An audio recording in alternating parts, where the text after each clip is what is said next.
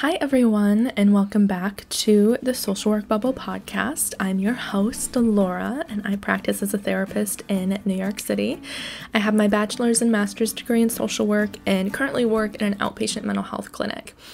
Today, we're going to talk about the last couple of weeks of my job. When I say last couple of weeks, I, this podcast was actually intended for the end of June, and it didn't happen, mostly because of the things that we're going to be talking about today. Um, basically, what was going on was so many of my clients, my high risk clients, were having crises all at the same time.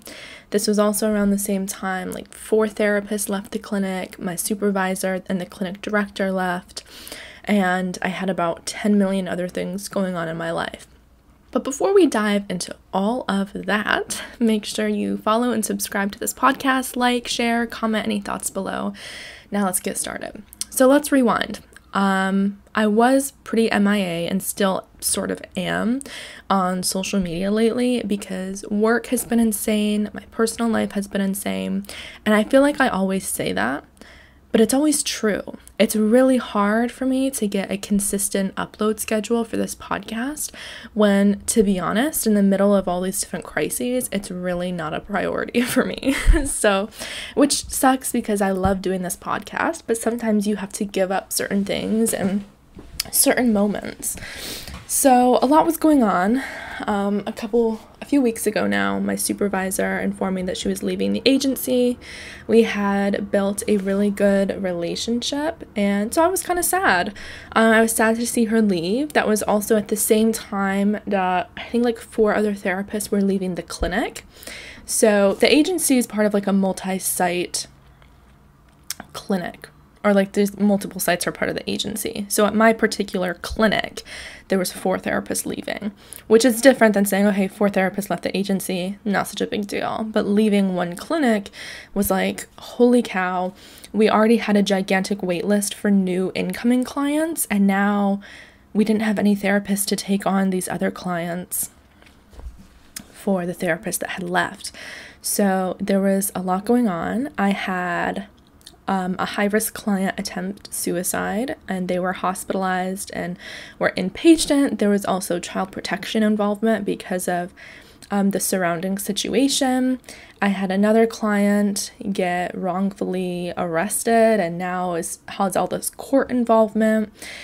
I had three other clients that were high risk express some very concerning suicidal ideation. They were in immediate crisis and then I also had another client attempt suicide and had to get them evaluated at the ER. On top of all of that, I'm not going to get into the details of what was happening in my personal life, but it was one of the most stressful points in my life, I think. And being a therapist, while my whole family is experiencing some very difficult moments, it felt like a lot of people, a lot of people in my family would turn to me for support. So not only was I having to be a therapist for my super hefty 50 person caseload with 15 high risk clients, therapists leaving the agency left and right, clients attempting suicide left and right, hospitalizations, unnecessary arrests. But then in my own personal life, when I was supposed to be clocking out of work and taking a breather, I would have family members constantly call me, asking me different questions, or just in crisis themselves. And that was really hard. I remember one distinct moment where, you know, someone had called me, a client had called me, and, um, it was they were in crisis. I had been up late trying to get all my paperwork done, which was like a whole other layer of all of this because I've already been working so much just with my clients and that didn't even include the time I had to do paperwork. So I'd been up all night trying to figure that out. And then I wasn't sleeping well because of, you know, stress. and um, I've talked about this before, but I also see my own therapist for depression and PTSD. And so I was also dealing with my own mental health. And I went to bed finally. I had a really hard time sleeping, and so I slept until 10 o'clock the next morning. And as soon as I woke up, I woke up because a family member called me in complete crisis and they just needed to talk. And they literally started the conversation with, My therapist didn't answer the phone, so I called you, which no, like that's not okay. If you follow me on Instagram, this was probably during the time when I made this Instagram post, and it said, Remind your family and friends that you're not their therapist, too. And I don't have any family that follows me on social media because my whole social work bubble brand is a secret, which is a whole other thing. So it wasn't really being passive aggressive, but for me, it was a learning experience to not only have boundaries with clients in my agency, but to carry that home and to really make sure that I can support my family and I can be there. And you know what? My education will probably inform my response because I understand and I have a better understanding of what their experiences are. However, I'm not coming to them as a therapist. I'm coming to them as a family member, and that's it. And anything beyond that is something another professional would probably have to deal with. So, as you can see, there was a lot. And today I just wanted to talk about how I got through it um, I'm still moving through it. My clients and my caseload has kind of calmed down. I've discharged a couple clients and haven't added any new ones onto my caseload, which has been nice. So it's becoming something that's more manageable. And, you know, things in my personal life are still crazy, but I do feel like through lots of practice and this last month, um, I've really learned a lot about myself and how to move through all of this because it has been very difficult. So, any insight I can share, um, I will. So, basically, at the beginning, there was a lot of crying. I'm a huge advocate for crying. I love crying. There was a big part of my life growing up where I didn't cry. Um, just some like personal psychology about myself. I'm the middle child. I was very much I didn't want to be bothersome. I didn't want to be a problem. So I kind of just kept to myself. I was very independent. So I just tried to figure things out on my own, right? So there was a big part of me growing up where I never really learned how to regulate my emotions. So I uh, didn't. and I really just genuinely would keep it in, even at a very young age. I remember coming home from like kindergarten and I had a really bad day. I think someone was had been bullying me on the bus and I was crying. I was crying on the bus. I was so upset. I was probably 5 or 6 years old and I'm walking on the sidewalk only a few feet away from my house. And I remember telling myself at this young age, okay, Laura, don't cry. Everything's okay. Like, you don't want to upset mom or dad, right? Which is like crazy for a kid to say that. But that's also, I think, a big part of who I've always been is I don't want to be a bother, which now I mean, unpacking that as an adult and as a therapist and going through college and social work, you see a lot of these, your own patterns, right? You understand your own psychology, your own behavior a lot better. And I think through that, you're able to process your own stuff, which has been really helpful in understanding myself and also in offering support to the people around me and my clients. So now, as an adult, I say all that to say I advocate for crying because I never cried as a child.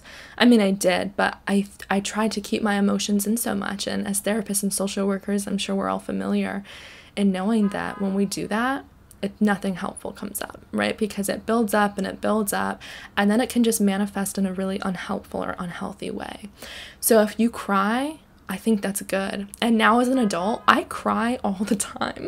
I it's almost become like a running joke because even just like small stuff, like I'll cry at like animal videos now, which I never used to really care about. I'll just like I'll cry at just everything. I'll cry when I'm happy. I'll cry and because now I'm just like, oh, I just have to express my emotions, which is cool. And I think it's just been such a relief for me to allow myself to be in those feelings and to express them. So I cried a lot. With that, though, like I've mentioned, I have my own mental health things going on. And I do have a tendency to fall into depression and more depressed behavior. And when I say that, I mean sleeping all the time, you know, having really low motivation, really low energy, having a hard time getting out of bed, having a hard time, you know, with daily living activities, with um, like cooking my meals, showering, things like that, doing my laundry, keeping my apartment clean. Especially when there's a lot of stress at work. And so uh, sometimes when there's a lot of things going on, I end up getting into this cycle of work, sleep, work, sleep, work, sleep. And I could see this pattern happening. And a few months ago, I did do a podcast on burnout because I had been burnt out. I was working at least like 50 to 60 hours a week, maybe more. And there was no time for myself. Basically, every waking hour had to do with work, which was worsened by the fact that I was working remotely and it felt like clients had more access to me.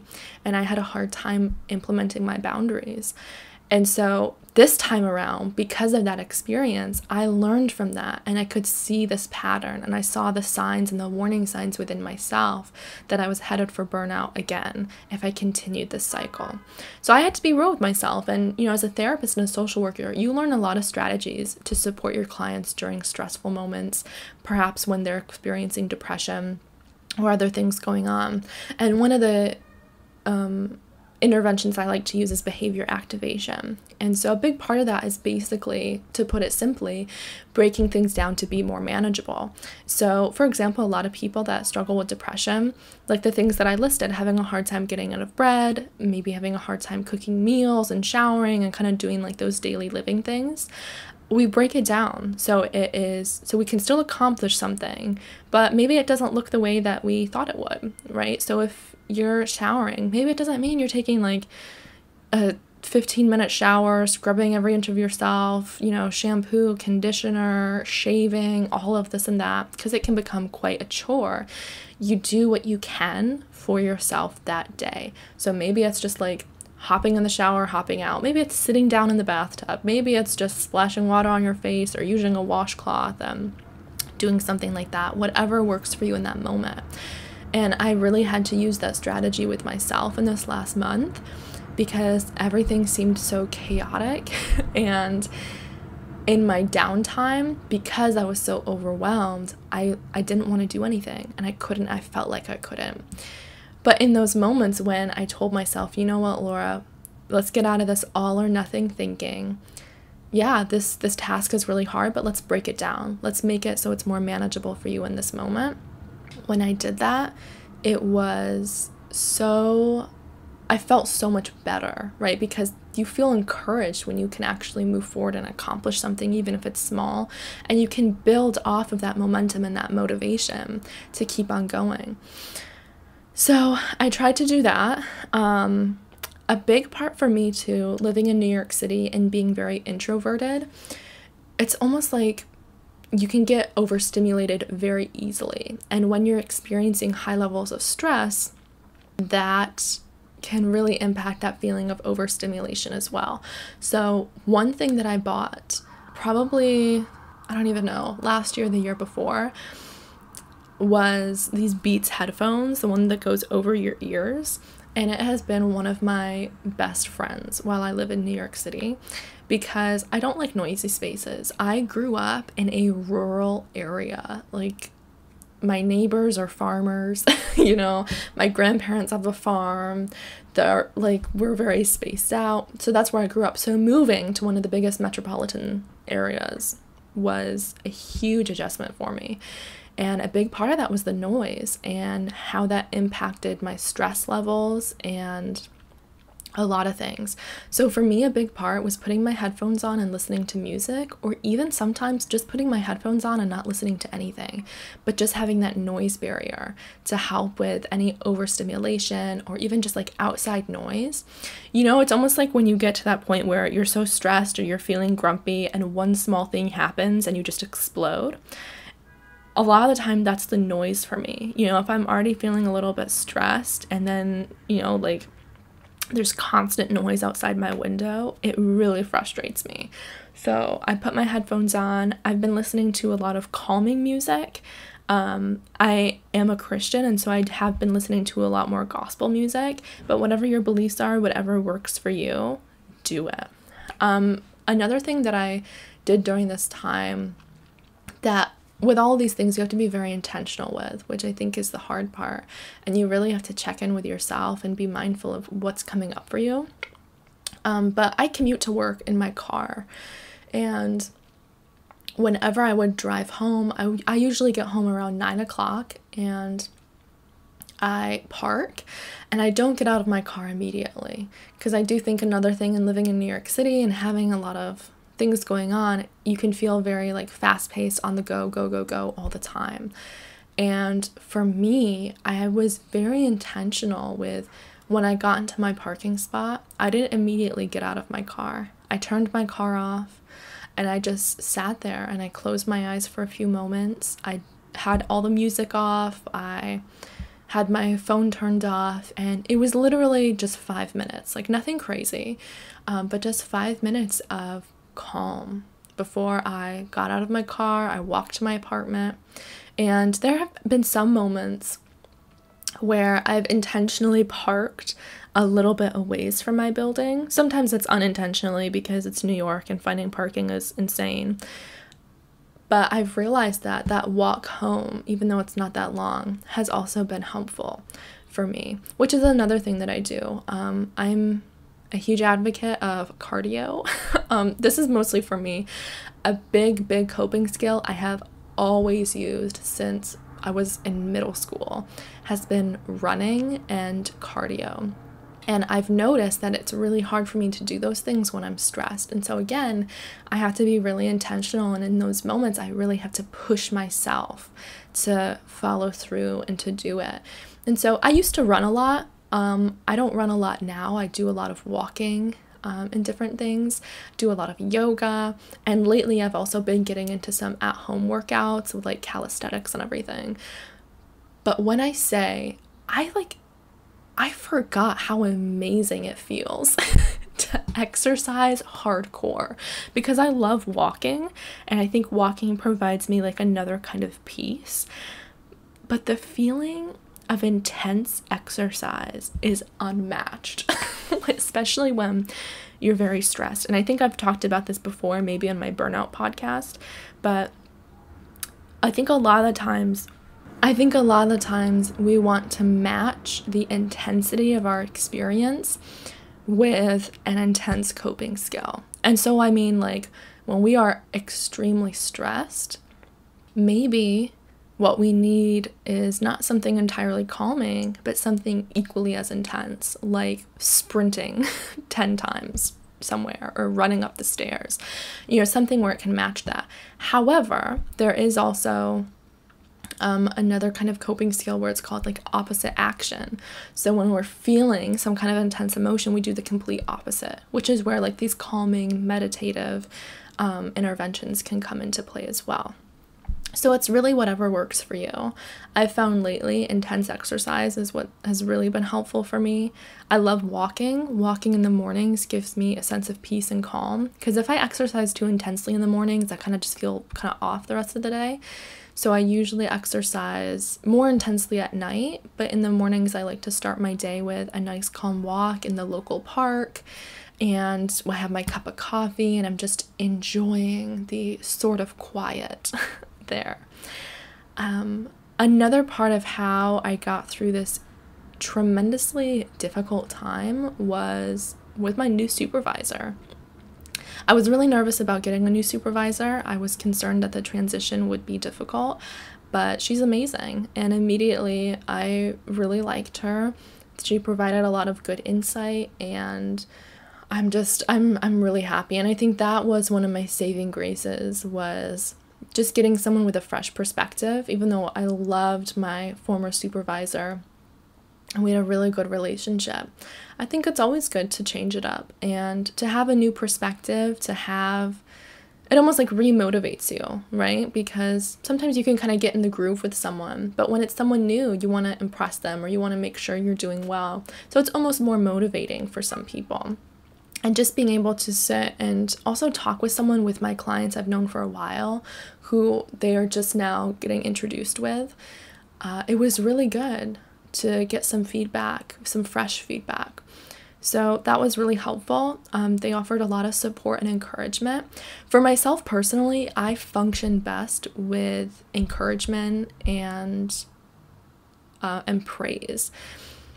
I'm I really suck, and this is more of like a personal thing I have to work on. I really am not good with criticism. um, I'm trying to get better at that because I know that feedback is essential and I have gotten better at that. But I do really well and feel a lot more motivated with praise. And that's exactly what this new supervisor has given me. And really just that validation that I have a heavy caseload. Like to hear that acknowledgement from my supervisor, like, wow, you have a heavy caseload. And it's you, I mean, you have phenomenal relationships with your clients and you did this intervention really effectively. To hear that really, really helped, you know, because in the midst of a lot of stress and turmoil, I think you need that validation to know first, it's hard, and to have that acknowledgement. And second, you're doing a great job, you know, and, and being able to hold both of those things. Um, another part of what I like to do is planning. Uh, I I plan a lot perhaps too much, but it's it's very calming for me. I have my planner, my paper planner for my personal life, the day designer, and on my Etsy shop I actually came out with something called the Flourishing Therapist Planner. So that's a digital download planner that you can use and it's for therapists and social workers, others in the mental health field, but it basically has everything you could need to plan out what you need to do in your work life. And I really got into this habit of basically creating a daily schedule for myself. So every night before I went to bed, I would review what the next day would be in the upcoming week and I write out in detail my to do list for the next day. And when I say in detail, I mean at the top of my to do list, the first thing I have to do is wake up. Because you know that in itself is a success and we're going to celebrate it. So, I literally I'm looking at my planner right now and it says wake up and there's a check mark. So that's good. We accomplished at least one thing today. Um, and I have very much like detailed things on there. And that helps me, you know, walk through the day cuz even in moments where it's like small stuff, right? Like brushing your teeth it still feels like an accomplishment and you're still like, okay, I checked this off my to do list, go me. And that was really helpful. I also do a lot of journaling, I do a lot of collaging, I write about my feelings a lot. I think this podcast has also been helpful, but you know, in this last month, it hasn't really been a priority. My apologies. Um, and again, uh, I go back to my faith a lot and prayer and finding solace in the church that I attend and my relationship with God. Whatever your spirituality is, um, I would highly recommend to dive into it because I think when we talk about identity, there are many parts of who we are, and I think human beings, in essence, are spiritual beings. And I think it's important to tap into that. Whatever your beliefs may be, whatever resonates with you, is just another part of our support system and a place that can provide us peace. Um, Another big thing, obviously, I also found connection with other people, primarily my partner. We were both going through it. I mean, he was equally involved in this chaos as I was, but to find support and just talk to someone who was also in it but didn't use me as their own personal therapist um, was incredibly helpful because it can be tricky. I think I, my partner has been very respectful of me clocking out and me being his partner and friend and not his therapist. And we have really good boundaries with that. It's more my other family members where we have to work on it. But it's a tricky balance no matter what. And so, you know, of course, communicating that, expressing my feelings, and just talking things out a million times with him and getting that validation from him as well, and just speaking on things And then another thing that, you know, I noticed while all this turmoil was going on was I felt like if all of this stuff had been happening a year ago or even a couple months ago, I think I would not have responded as well. I don't know how I would have responded. I don't know how I would have coped with it. You know, you can't guess how you're going to react. But there's something about this time period where I feel more strength and resilience this time. I feel like I know myself better. And I felt almost more at peace moving through this chaos. And looking at who I was even a few months ago, I don't I didn't have that. I didn't have that inner peace. And I think with anything, and this is something I tell my clients as well, if we are so dependent on external things, whether it's people, whether it's our job, whether it's, you know, any kind of situation, and we allow that to throw us around, we're able to move through anything for most things if we have this internal eternal internal internal not eternal internal peace and internal strength and resilience. Now strength does not mean that you're not going to hurt. It does not mean you're not going to get upset. It does not mean any of those things. It just means that you're moving through it right? And i think for me one of the biggest parts of this last month even though it was the most stressful month of my life, I am somehow, I'm still in it, but I feel more on the other side of it. And I'm okay. And I mean, there were moments where I was just like, I don't know how I'm gonna get through this. Like, this is a this is a, an amount of stress that just like I can't if I think about it too long like I can't like I can't think about what is going on I can't think about everything that's going on too much or else I'll just like I'll have a breakdown and which I mean I allowed myself to have those moments too like crying because it was important but I cannot recommend enough just this internal peace however you reach that I think for me, it's taken a lot of time. Um, like I've talked about before, and even today, I see my own therapist as well. Um, I try have tried to create a support system that's supportive and to lean on people and healthy and helpful coping skills. And I think through all of that, that's what's really gotten me to this moment today, sitting down and and being at peace and almost in this place of acceptance. And I think once you reach that, once you have this internal peace, the things around you can be chaotic, but you will not be swayed by it, you know? And again, it doesn't take away the hurt, it doesn't take away the stress or the pain, but you're able to move through it. And that's something I didn't really think I would say about myself. And I think just as much as this experience was difficult, it taught me a lot as a social worker and as a therapist. Not only how to meet my clients better where they're at in terms of their stress and anxiety and depression, but also has helped me have these consistent habits to prevent burnout, has helped me honestly be a better social worker, to be a better therapist, because I've gotten through one of the most stressful times in my work and in my personal life. And apparently, according to my supervisor, I did it well. so, and to me, that means it just feels like I can do anything now. It feel I feel so strong and I feel so capable and just reassured of my skills as a social worker. That even in the midst of all of this, even though it was messy, even though I probably forgot some things and my paperwork was late and this and that, like I got through it.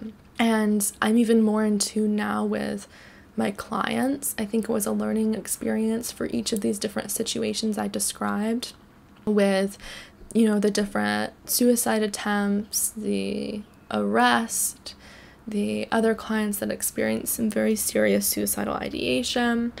I think I don't know. I don't want to say I'm enlightened, but I do feel that way. I do feel this sense of, wow, I can't believe I, I did that. so I don't know if any of this has been helpful because it has been a lot. And I just kind of wanted to come on and talk about my own experience and, you know, when life is hard, it's okay. And I don't mean that in an insensitive or minimizing way. I'm sure we know as social workers and therapists to allow ourselves to be in those feelings, you know, to allow yourself to acknowledge the hurt, to acknowledge the pain, to acknowledge the stress, and then moving through it. You know, it doesn't mean that you're moving on, it doesn't mean you're just getting over it, right? But every day, deciding to do something for yourself that will leave you better off the next day, right? And that doesn't have to be anything extravagant. It is literally, like we've talked about, maybe it's just breaking things down to be more manageable. Maybe it's having just one glass of water that day because you've had 10 cups of coffee and at least it's one glass of water, you know? So it doesn't have to be crazy. But I just wanted to come on here and give any encouragement to social workers that are experiencing tremendous stress because that is in essence a large part of our work is it's almost like I don't know, one of the highly talked about topics is how stressful social work is. So if you resonate with that, I hope that you've kind of taken something from this that even in the most stressful moments with the most crises, the most high risk clients, the most the most whatever it may be, it's it sucks and it's so hard. But you can move through it. And it doesn't mean it'll be easy. But just as much as you support the clients, you also support yourself. So again, it's practicing what you're preaching, right? The things that we talked about in social work school, uh, the things that we talk to our clients about as therapists. Do those things for yourself. Use those same strategies, whether it's CBT or DBT or behavior activation or whatever it is. Use those same things on yourself or see your own therapist. You know, but but you do know what you need to do because those moments are hard and it is possible to move through them. So thank you all so much for listening. Um, I know it was, I don't know how I feel about today's podcast. It was kind of a lot, but I'm glad that I said it. I think I just, I also needed to do this for myself to almost like process closer to the aftermath um, and really just reiterate the things that I learned, the things that I took away from those moments uh, for myself, but I hope that this resonated with some of you. If you have any comments or you want to share your own experience in the fields, whether it's mental health, social work, any psychology, whatever it is, please comment or share on whatever platform you're listening on. You can follow me at Social Work Bub on Instagram, Twitter, Facebook, and Pinterest. You can check out the Social Work Bubble Etsy shop, where I provide worksheets and activities for social workers, therapists, and others in this field and also my website and blog, thesocialworkbubble.com. I hope you're all staying safe, and I look forward to continuing to grow together in the wonderful field of social work.